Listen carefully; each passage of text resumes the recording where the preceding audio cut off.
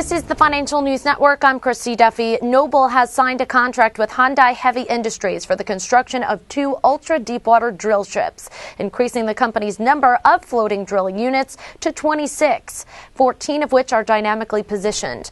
The new ultra deepwater drill ships, to be named at a later date, will be constructed on a fixed price basis at HHI's shipyard in Korea, with expected deliveries from the shipyard in the second quarter and fourth quarter of 2013, respectively. Operations are expected to commence 90 to 120 days after delivery following mobilization and acceptance testing. The delivered cost of the new drill ships is expected to be $605 million each and excludes capitalized interest. The contract further includes a fixed price option for up to two additional drill ships, which must be declared by early May 2011 for delivery in 2014.